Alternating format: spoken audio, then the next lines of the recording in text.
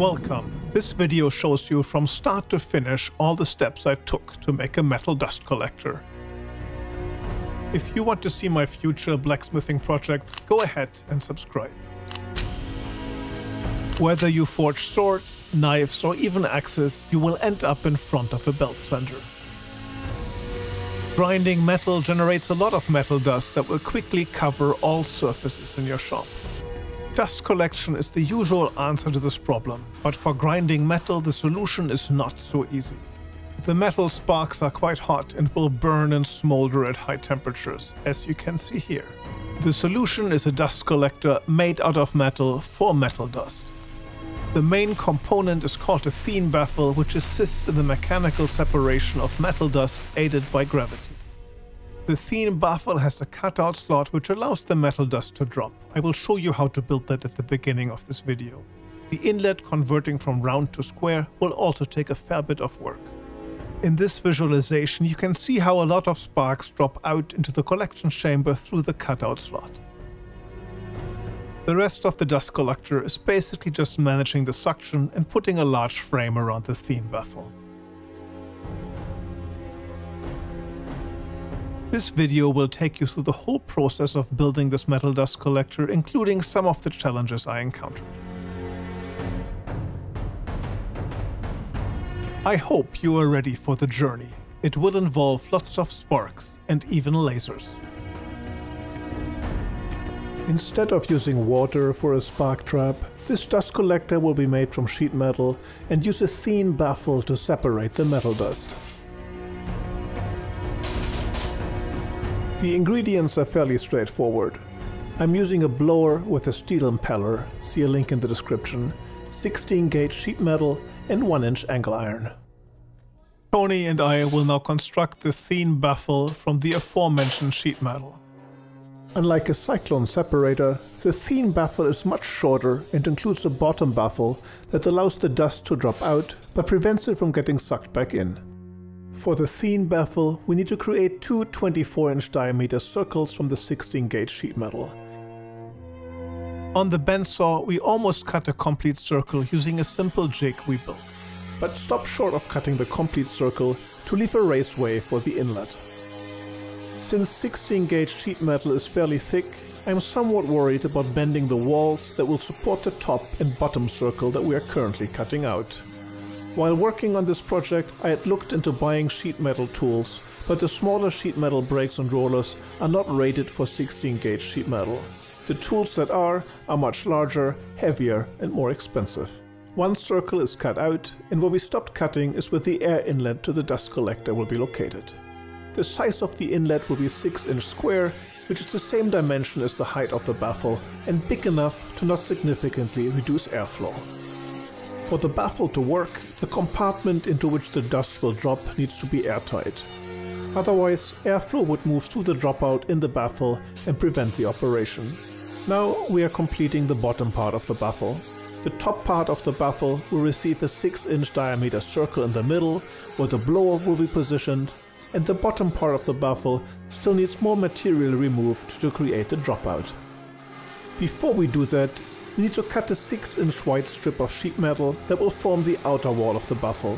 Since we don't have a shear, we mounted a guide on the bandsaw table. Let's talk about the 6 inch hole in the middle of the sheet metal. Initially, we thought we would use a circular hole cutter attached to a drill. Unfortunately, my drill press does not have enough clearance, and stabilizing the drill by hand seemed impossible. Instead, we are cutting four 1/2 inch holes and we'll use a sheet metal snip to create enough space for a nibbler. How convoluted.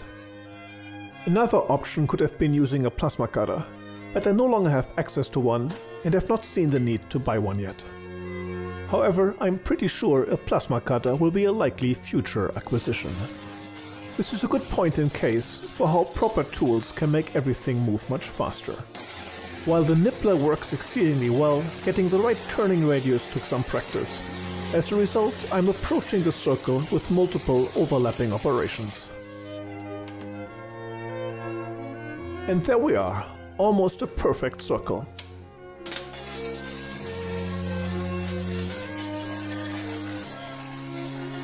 Draw filing is pretty quick to remove the sharp and jagged edges left by the band saw. All this preparation is really just procrastination to avoid bending the strip of 6 inch wide sheet metal into a circle. With this brilliant realization in mind, I proceeded to make myself a Frankenstein pyramid roller. It consists of three rolls where one sits on top and can be moved down to increase the bending amount. Ideally, I would have used a lathe and solid rolls, but that was not an option in this case. Instead, I welded something together from black plumbing pipe. Yuck. Nonetheless, it seems to get the job done, and my vice grips constitute an almost perfect crank. What more could I want? I occasionally check how close I have come to the right radius, but in the end managed to slightly overbend the sheet metal anyway. It turned out that that was not really a problem, and the jig I built for clamping took care of removing gaps in the joint.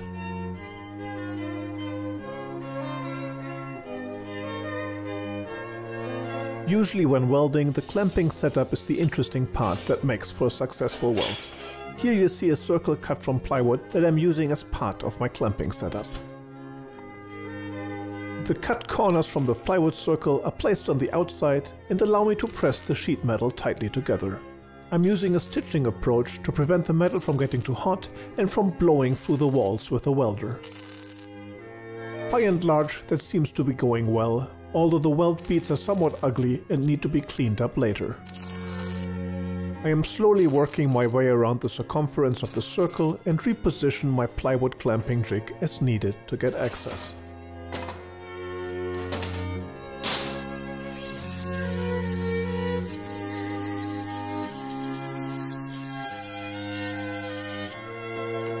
Inspecting the inside shows good penetration on the welds. What I forgot to mention was that the strip of sheet metal I had cut was only 3 feet long and not enough to make it all the way around.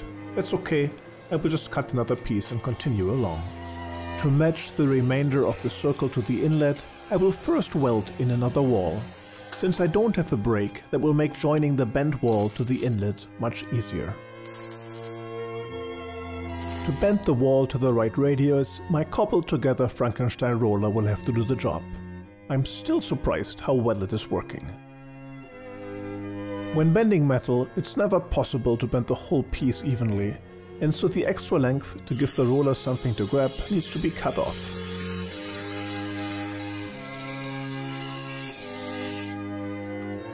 After placing the sheet metal into my little plywood jig, welding everything together is quite fast.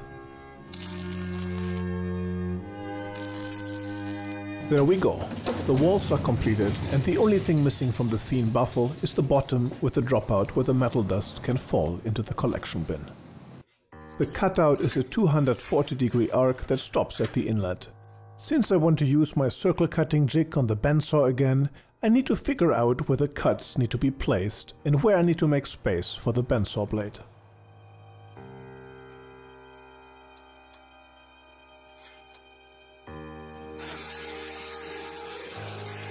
Creating the opening for the blade requires many small cuts due to the limited turning radius of the blade I have installed.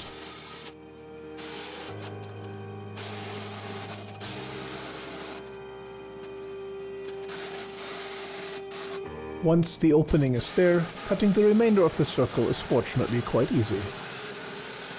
At the moment, I'm keeping a small tab to help with welding the bottom to the rest of the baffle, and I don't know yet if I remove it eventually or not.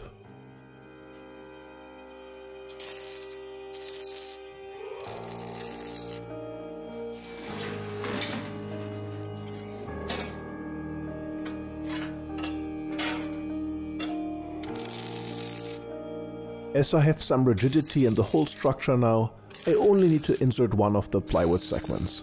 Previously trying to clamp both of them with my parallel jaws clamp resulted in either one or the other frequently falling down before I could put on clamp pressure. Another video I'm working on, and which I'm very excited about, is to visualize the pattern welding process in Swords. I liked my visuals so much that I made myself a few t-shirts. If you like the design and would enjoy a t-shirt as well, follow the links in the description. I will figure out how to suspend the blower and the baffle from a frame that I will construct. I am removing the sheet metal stand and will build a frame from mild steel that can hold the whole blower so that the inlet points down as you can see here. I am taking down the distance between the screw holes so that I can drill the flat steel bar at the same distance and then hopefully fit everything together just correctly. Before I drill the holes, I will carefully mark the center of the bar and then use a center punch to create a small indent for the drill bit.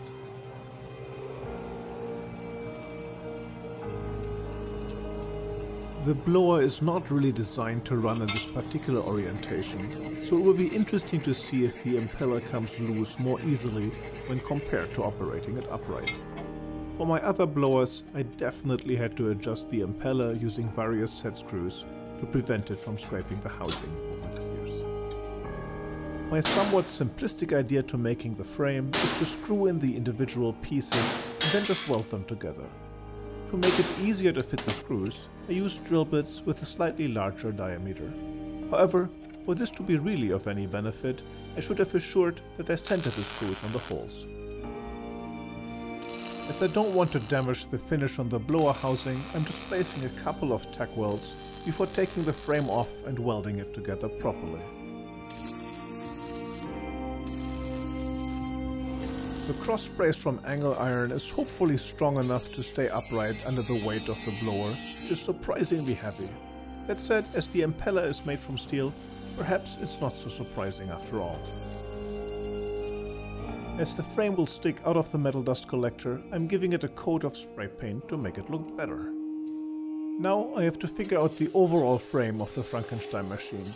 I want it to be on rollers and essentially clad in sheet metal held together by angle iron.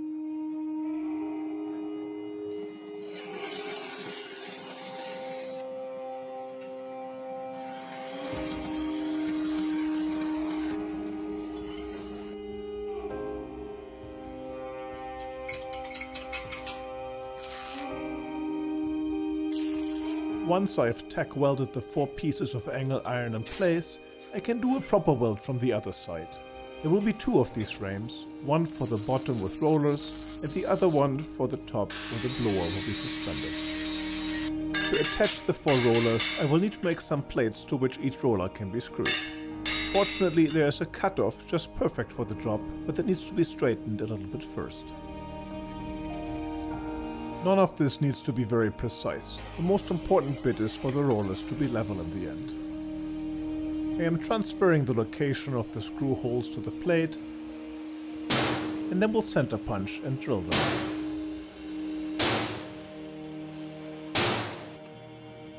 A drill press is really a great tool to have for drilling into steel.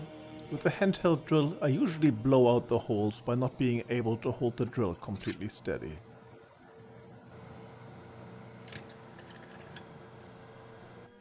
None of the welds here need to be particularly strong since they just need to hold the plate in place. However, since it's easy to do, I'm doing a complete weld against the seam. The sawhorses make it easy to hold the frame and to clamp the plate for the rollers so that it does not move when welding.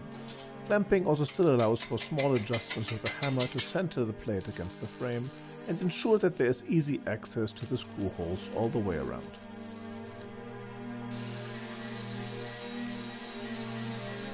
Alright, after some cleanup, it's time to attach the rollers and see how it all fits together.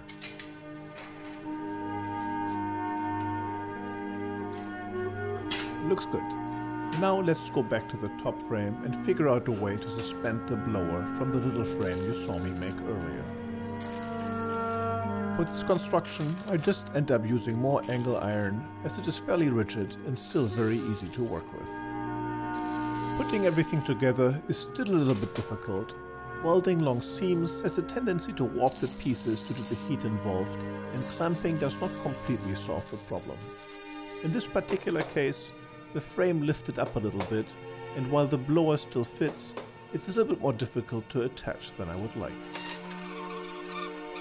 I need some more strength on the frame and will attach a couple more pieces of angle iron that can hold the frame for the blower in more places than just the one long seam I welded.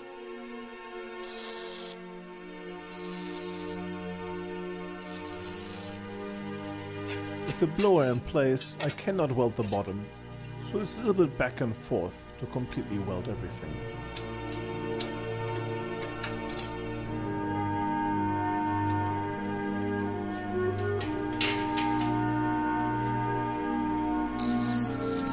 Remaining step in finishing the top frame is to weld two more cross braces in place that prevent the blower from tilting down under its own weight.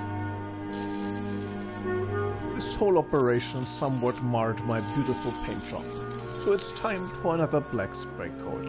I'm sure this will be a distinguishing mark for the whole project. After all this work, I wonder if the Thien baffle will still fit. But more importantly, I need to figure out how high to make the dust collector based on how far off the floor I want the inlet to be. Afterwards, I just cut the legs to the right length and weld them to the top frame. The next challenge is welding the top and bottom frame so that everything is at the right angle and not skewed to one side or the other. A lot of clamping and the sawhorses will need to help here again. At this point, the overall frame is finished, and now I need to figure out how to make airtight compartments from sheet metal.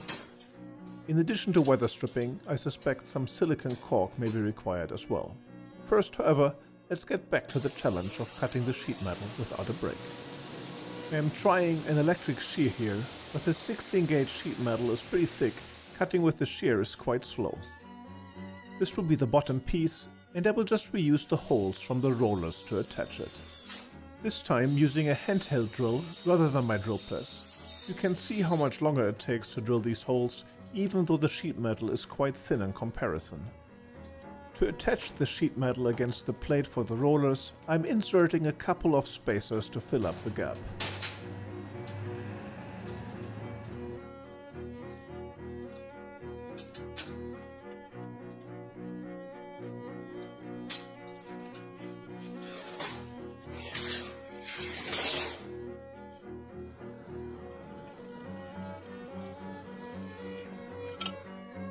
Attach the sheet metal to the angle iron frame, I'm cutting little steel squares with tapped quarter inch holes, to which the sheet metal can be screwed.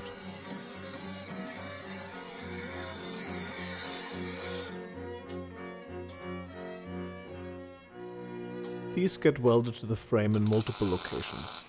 While it would be much easier to just weld the sheet metal against the frame, I'm keeping the option to remove each sheet metal panel in case access is needed at a later point. This may be optimizing for something that could be very unlikely. However, as I'm building this as I go, without having a concrete plan, I'm sure I will forget some small detail that needs to be revisited. And besides, the option to weld continues to be available, and at that point the screws just become visible ornaments. Cutting 16 gauge sheet metal with an electric shear is quite challenging and takes a fairly long time. Better tools, such as a plasma cutter, would certainly be nice.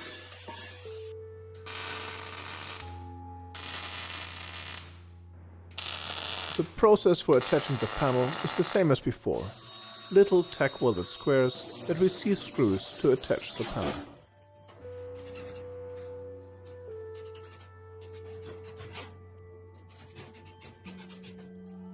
The next step is to place an inner wall that separates the dust chamber from a filter array that cleans the exhaust air.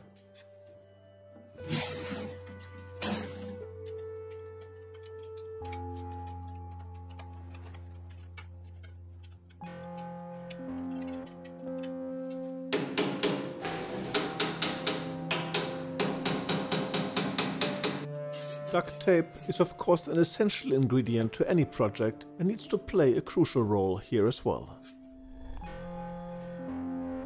The angle iron in this case needs to be shaped for the circular tube from the blower. The belt sander makes short process of that task and a perfect fit is not important here.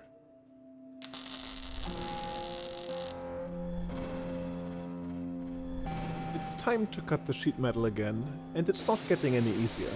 A plasma cutter sure would be nice.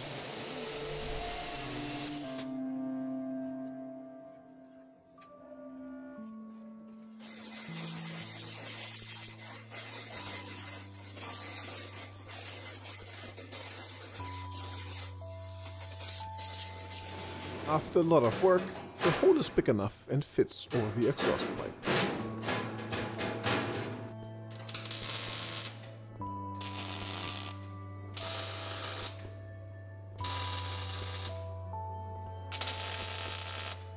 The sheet metal is a reasonable fit, but the chamber really needs to be airtight, and to help with that, I'm placing some weather stripping.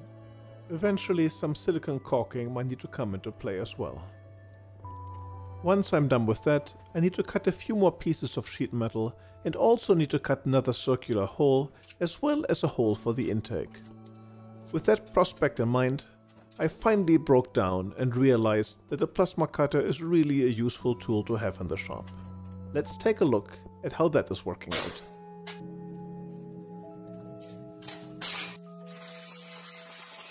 Let me tell you, it's really night and day. The circle is almost perfect and cleanup is minimal. This is so nice. I should have invested in the plasma cutter from the get-go.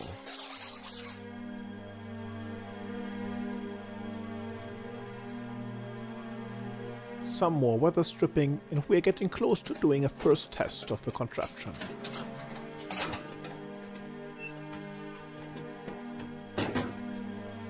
However, before that can happen, I still need to build the intake port, which will also support the baffle.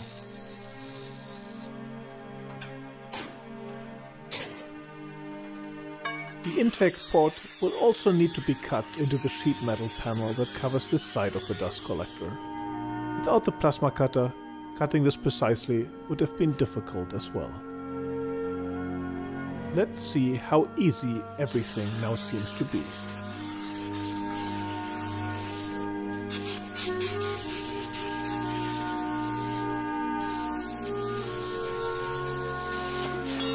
And there we go.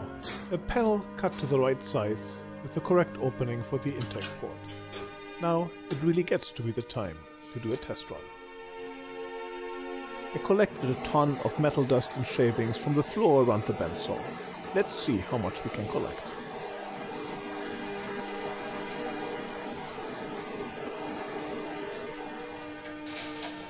The hope is that almost everything is just on the floor of the dust collection chamber and did not just get blown out. Let's take a look.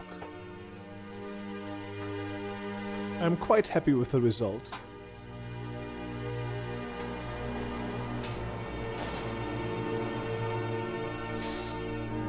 I'm currently cutting the panel that was covering the front side of the dust collector so that I can turn the lower part into a door to retrieve the collected metal dust. As I mentioned before, I do not have any sheet metal tools and I'm coupling this together with whatever spare steel and tools I have in the shop. Most of the work here is no longer on the dust collection mechanics, but rather closing up the outside without too many air gaps. As I'm making this up as I go, I attach most panels with screws so that they can be removed if I need to get back to the insides of the monster. I'm still wondering what I should call it in the end. Frankenstein comes to mind, but that's a little bit long for a spray painted stencil. Instead of tapping the holes, I just tack weld a nut on the inside, which is fast and sufficient. Now that the upper part of the front panel is attached, I have to figure out the door. The hinges, which are store-bought, should be fairly easy to attach.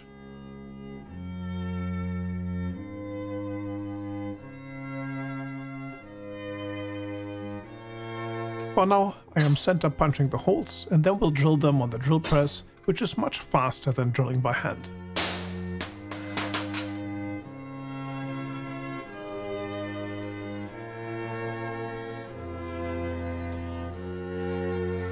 I plan on welding a nut on the inside again, so that the screws have something to tighten against.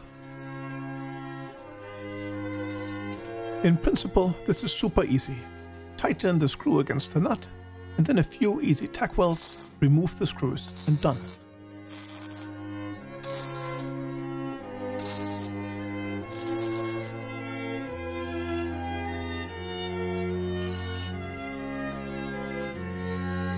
Here is another questionable decision. I decided that I would weld the other side of the hinges instead of trying to drill and place nuts. My reasoning was that if I ever had to replace the hinges, I would just grind them off. We'll see how much of that will come to be true. I thought I would just buy some kind of ledge at the hardware store, but they don't really have what I need. Instead, I'm taking inspiration from the trusty metal band saw in the shop and decide that forging the ledge handle is the way to go. This is definitely one of the benefits of doing all the work in a blacksmith shop. While precision is something I'm limited on, creative transformation of steel is always an option. The flange I'm forging here is meant to secure the handle on the outside so that it does not move through the hole where the handle engages the latch. One of the challenges here is to keep everything centered. As you can see, I am off-center and will grind the excess away. To hold down the ledge on the inside, I'm drilling a hole that I will tap for a quarter inch screw later. Before I can do that, and before I will attach the square ledge driver, let's forge in the handle. There we go. Handle for the ledge is finished, and instead of using the transformative power of blacksmithing, I will just weld on the square driver. As I had already drilled the hole, I now just need to tap it to cut in the threads for the coarse 1 quarter inch screw. One of the problems with this construction is that the sheet metal, while quite thick, is still pretty flexible. Ideally, I would have a bending brake to bend the edges to give it more stability. I don't yet know if that's actually going to be a problem in terms of creating a vacuum inside of the dust collector. The one ingredient that is still missing is a piece of square steel that can move the ledge. I will just weld that on. As you can see, I chamfered the corners to have more surface area for welding. This should be sufficient for it to hold together.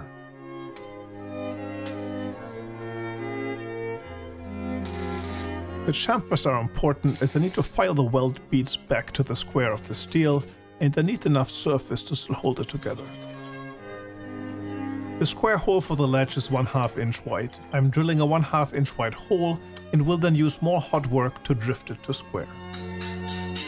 Overall, drifting is much faster than firework or using square broaches, and precision is not really a primary consideration here. Finally, I need to create a large enough hole in the sheet metal as well, and that will require filing as I don't have any larger drill bits at the shop.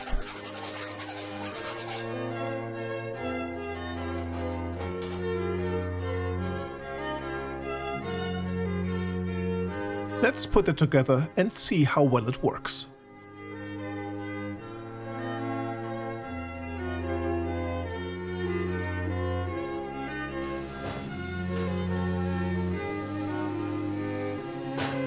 There's not all that much work remaining. I have to close up all sides, make a place for the filters to go and make an inlet.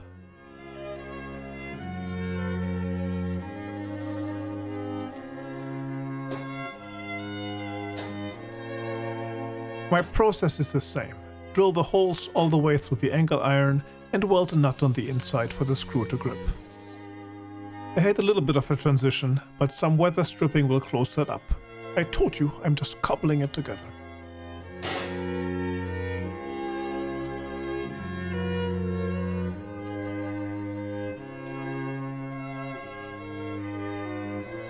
As I had mentioned before, the Thien baffle is meant to separate out most of the metal dust.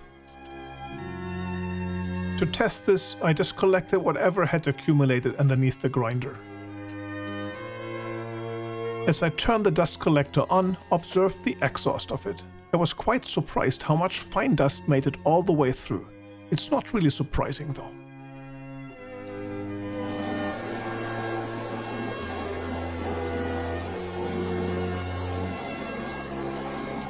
However, most of the stuff is at the bottom and waiting to be taken out. The filters should take care of the fine dust.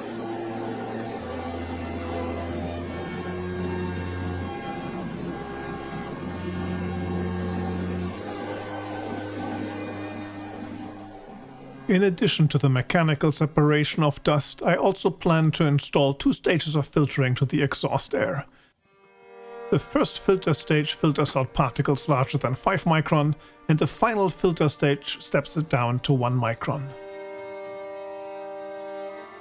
This whole project is not designed and rather follows the slap it together philosophy of construction. Here, I'm creating the box that will hold the filters. Angle iron that gets welded into place works quite well for that. The main challenge will be the mechanism for holding the filters in place, while also allowing simple replacement of filters as needed.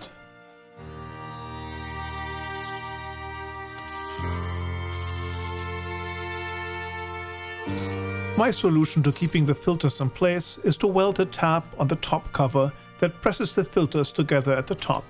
Simple but effective. Checking by hand seems to indicate that they will stay firmly in place without any movement between the filter stages. The only work remaining is really just to close everything up. You can actually tell by the interruption in the plasma stream where I'm not fully cutting through the 16 gauge thick sheet metal. For this particular project, that's all okay though. In terms of safety, I'm using a low profile mask to filter out fine particles from the air I'm breathing. When I recorded this video in California, we had fires all over the place, and the general air around where I live was not healthy to breathe either. As before, I tack weld the nut in the back, and that's it. There was one challenge though. I needed a screw to hold the cover in place right underneath the filter box, and I could not quite reach that with the welder, so I need a little help, you will see.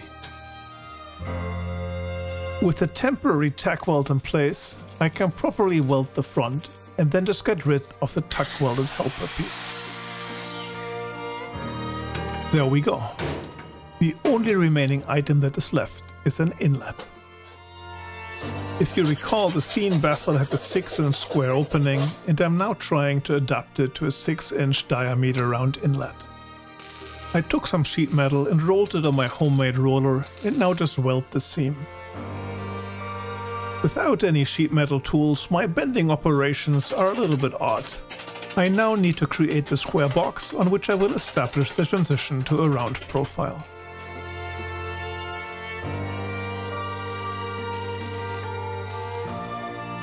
The idea here is that I will make four cuts into the round profile and bend the pieces of the inlet so that they align with the square box.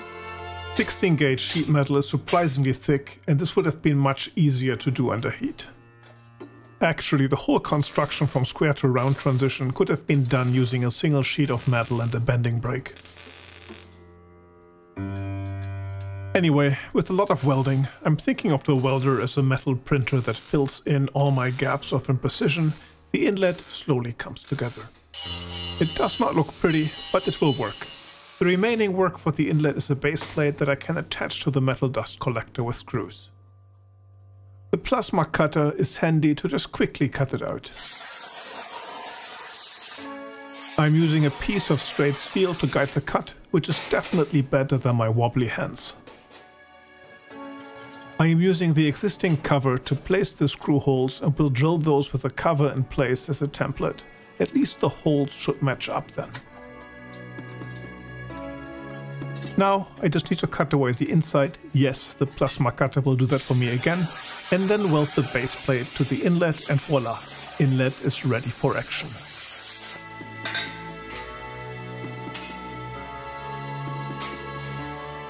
It is interesting that I can get away with so much inaccuracy. On the other hand, it also makes this project very forgiving and means that in my limited time I can make steady progress. The inlet is a little bit long and I'm cutting it to a shorter length with a cutting disc. This way it will not stick out too much from the dust collector but will still leave me enough room to connect pipes.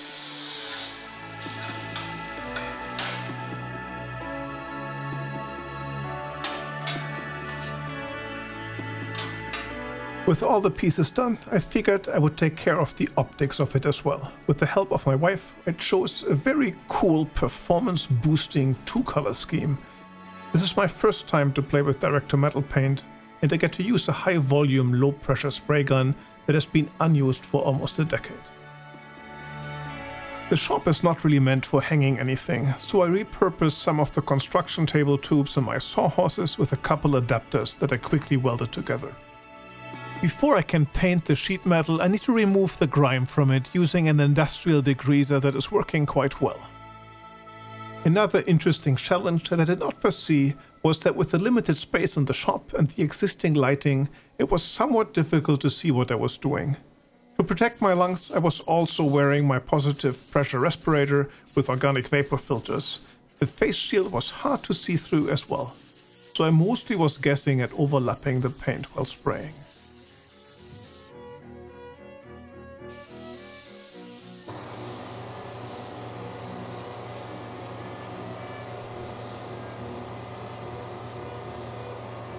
Nonetheless, it was working quite well and two coats of paint seemed to be fully sufficient.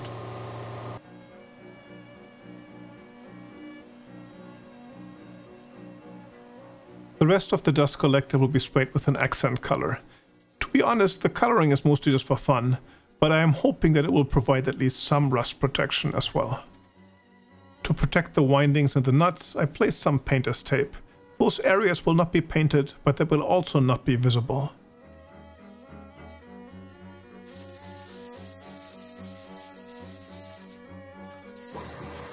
My other hope is that the paint will make the inlet a little bit less ugly as well.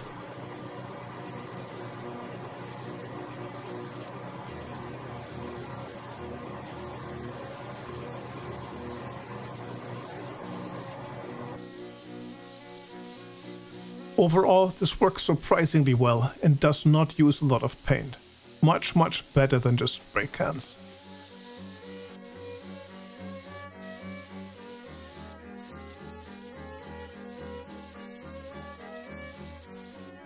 There you have it, everything painted and just waiting for assembly.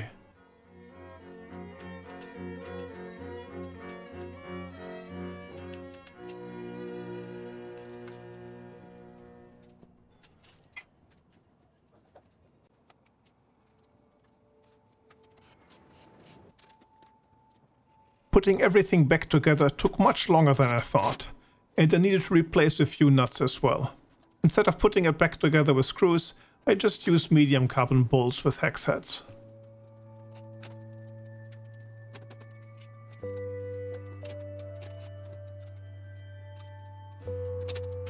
Anyway, here it is all put together. Since it's a mighty machine, it cannot be complete without at least some stencils.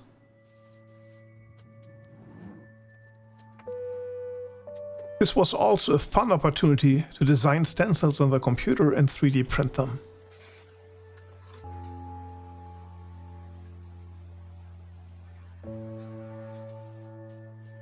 I jury-rigged the dust collector and gave it a test run.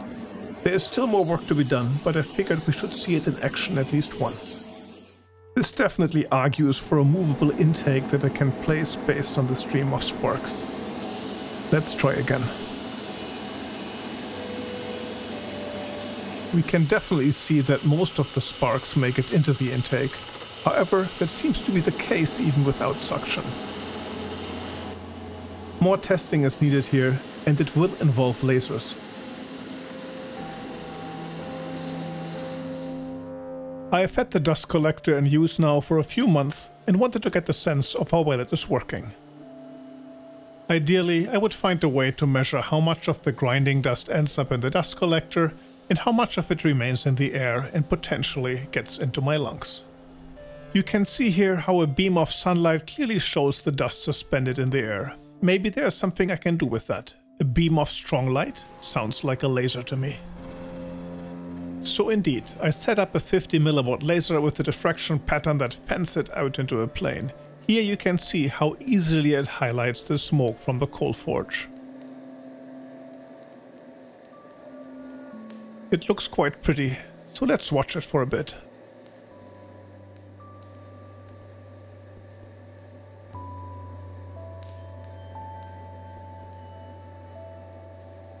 Let's see if we can measure the performance of the dust collector by laser.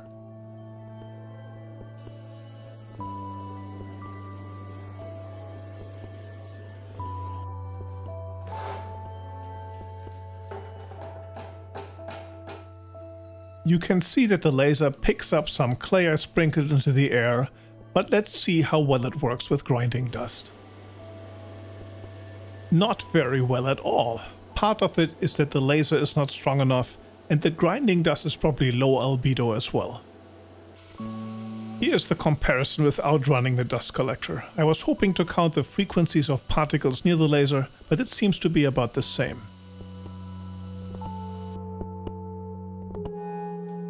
I'm trying it with clay again, with the dust collector on and off. It's really hard to see though.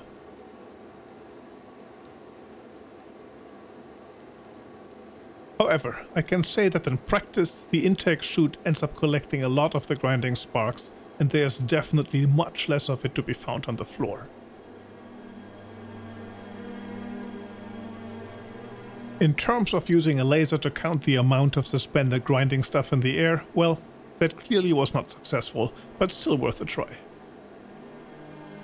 In the end, I used some compressed air to chase more of the clay that is now all over the place into the dust collector. That created some pretty pictures as well.